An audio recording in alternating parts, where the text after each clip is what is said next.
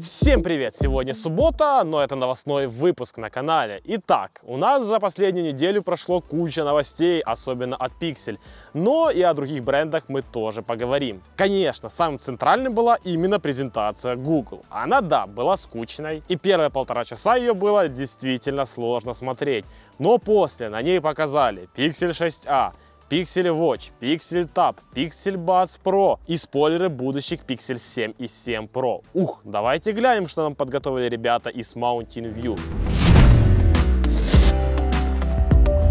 Итак, с самой презентации и начнем. И хоть она показалась мне скучной, но она была очень познавательной для жителей США. Ведь там показали много интересных программных фишек. Google прокачали свои алгоритмы переводчика, который еще больше будет опираться на контекст предложения, особенно при переводе из редко встречаемых языков. Огромную работу сделали и в алгоритмах поиска. Можно попросту написать предложение или сказать его Google Ассистенту. И поиск будет осуществляться по контексту, сказанному в приложении приложению. Также появился комбинированный поиск по картинке и тексту. Кроме всего прочего, Google анонсировал и AI Test Kitchen, который представляет собой программу для общения с искусственным интеллектом. Можно говорить на разнообразные темы, а алгоритмы будут стараться поддерживать с вами разговор, чтобы еще лучше натренировать свой ИИ и улучшить свой ассистент. Не забыли Google и об улучшениях камеры, а именно Skin Tone. Технология реальный тон будет определять цвет вашей кожи и правильно подбирать подбирать оттенок, чтобы он был действительно натуральным. Корпорация Добра упомянула и Украину в своей презентации. Они помогают ежедневно предотвращать кибератаки как на веб-сайты, так и на почту. А для всех пользователей Android-смартфонов ввели функцию оповещения о воздушной тревоге. Но это сделал Google еще несколько месяцев назад. И вот еще интересная информация для обычных пользователей. Google Pay все, вместо него приходит Google Wallet. И да, вы правильно подумали, это полная копия Apple Wallet. То есть он совмещает в себе функции оплаты, в него можно загрузить билеты, ковид-сертификаты, документы и бонусные карты. И обновление этого приложения получат все пользователи Android смартфона уже в ближайшие несколько недель. Но я знаю, зачем вы все сюда пришли, узнать побольше о Pixel 6a, действительно бомбовом смартфоне. Но о нем мы узнаем после того, как вы подпишетесь на телеграм-канал со скидками. Там публикуют вкусные цены на новинки, к примеру, Realme 9 9 Pro Plus за 314 баксов. Новый Vivo IQ Neo 6 на Snapdragon 8 Gen 1 всего лишь за 458 долларов. И естественно разные мелочевки там тоже много. И разнообразные скидочные купоны там тоже есть. Ссылка будет в описании. Ну а вот сам Pixel 6a представляет из себя смартфон с диагональю 6,1 дюйм. Естественно это AMOLED матрица, но частотой обновления экрана всего лишь 60 Гц. А защищать его будет стекло Gorilla Glass третьего поколения. Рамки вокруг экрана, естественно, будут большие, как и в Pixel 6. Ну а боковая часть корпуса это алюминий.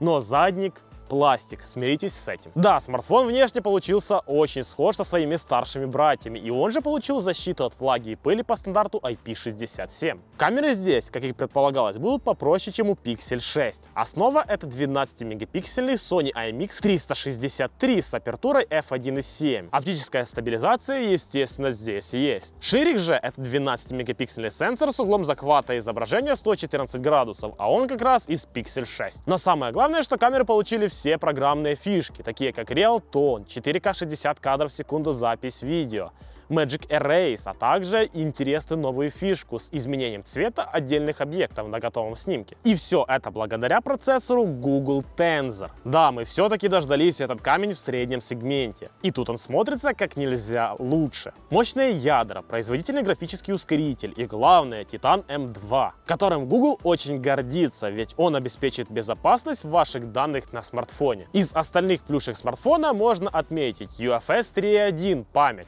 USB 3.1, также поддержку Wi-Fi 6 и стереодинамики, ну и неплохую батарейку в 4400 мАч. Ну и все это вам продадут за 450 баксов США, но в одной конфигурации, всего лишь 6128. Смартфон действительно вышел очень интересным, я уже хотел бежать заказывать его, чтобы сделать для вас побыстрее обзор, но обломался, ведь старт продаж аж 21 июля. Естественно, ждем и как только появится возможность, сразу ждите видео на этом канале. Кстати, нажмите колокольчик, чтобы не упустить. Ну Давайте немножко отвлечемся от пикселей и чуть позже обсудим все остальные их новинки. Ведь дальше OnePlus. Да-да, я знаю, что вам, наверное, уже надоели эти бесконечные новинки от OnePlus, потому что они действительно превратились в конвейер. Ну вот, Nord 2T может некоторых заинтересовать. И да, к сожалению, предположения об ужасном блоке камер подтвердились. Но вот в остальном, сзади смартфон напоминает OnePlus 9 Pro, а именно своими формами закругления задника и наличием триггера переключения режимов. И если выбирать смартфон в черном цвете, то он кажется даже симпатичным. Сама камера здесь не претерпела изменений в сравнении с предшественником. Все тот же Sony IMX 766 с оптической стабилизацией. Также не изменился 6,43-дюймовая AMOLED-матрица с частотой 90 Гц. А вот процессор чутка обновили до Dimensity 1300, который стал еще мощнее. Что заценят игроманы? Ну, естественно, быстрая зарядка 80 Вт,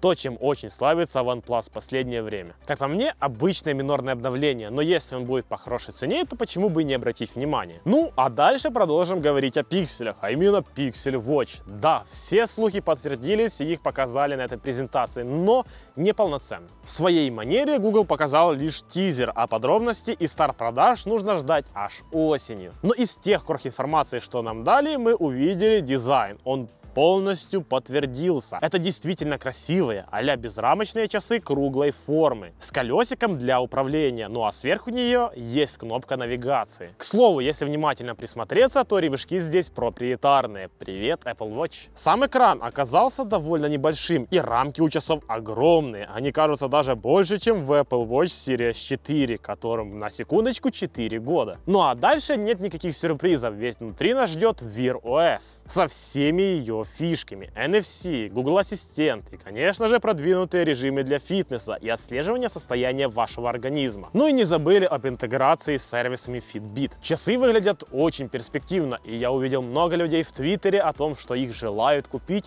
и заменить свои Apple Watch. Но все решит цена, и о ней мы узнаем уже осенью. Ну а дальше нас ждет Sony. И да, они официально показали Xperia 1 Mark IV и Xperia 10 Mark IV. Флагманская модель получила не сильно много изменений. Улучшили материалы корпуса, поставили Snapdragon 8 Gen 1 и чуть подтянули яркость 4К 6,5 дюймовой панели. Ну да, цена 1400 евро. Xperia 10 Mark IV предлагает характеристики Poco X4 Pro только за 500 евро. Лишь экран имеет частоту обновления 60 Гц, а сам смартфон оснащен защитой от брызг и пыли по стандарту IP68. Но да, Xperia 10 Mark IV за 500 евро смотрится смешно. И да, Sony, как всегда, не научились делать интересный нейминг. И да, наверное, стоило бы сказать пару слов о наушниках, но я не хочу выговаривать их названия, поэтому ладно, все, идем дальше. Потому что возвращаемся к пикселям, ибо Google затизерил Pixel 7 и 7 Pro. Им очень понравилась концепция с текущими пикселями, поэтому 7 получил две камеры, основную и ширик, а к прошке добавился еще и телевик. Дизайн задника остался практически без изменений, только блок камер теперь будет выглядеть как часть боковой рамки. В ее цвет и будет окрашен, матовый для обычного пикселя и глянец для прошки. А вот то, как выделили Google сами камеры, это уже интересно, потому что ничего не напоминает. Вот там, кстати, фоточка iPhone 14, который слит. Да, это дизайн брови айфона. Наушники же получат прокачанный шумодав, усиленную интеграцию с пикселями и быстрое переключение между устройствами. Ну и тизер Google Lens. Бренд решительно взял курс на создание собственной экосистемы из множества продуктов. И пока курс этой компании мне очень импонирует. Интересно действительно собрать всю экосистему. Их ноутбук, планшет, смартфон, часы и наушники и посмотреть, как это все вместе работает. И, естественно, сравнить с главным конкурентом яблочной компании. Но еще немножко об OnePlus, а точнее об Oppo. Ведь как только я увидел тизер Reno 8 SE, который сзади полностью напоминал OnePlus 10 Pro, я подумал, когда же OnePlus выпустит что-то схожее? И да, естественно, появилась информация о OnePlus Ace Racing Edition с IPS-матрицей и Dimensity 8100. Честно говоря, мне действительно уже просто мозг плавит это все количество новинок от OnePlus. Но посмотрим на Reno Ace Racing Edition. Если он действительно будет интересен и его цена подтвердится 300 баксов, то с Dimensity 8100 действительно будет неплохой смартфон. Ну и на этом наш гуглофильный выпуск будем заканчивать. Спасибо за просмотр. Пишите в комментариях, какой больше из продуктов Google вам понравился. Лайк и до встречи.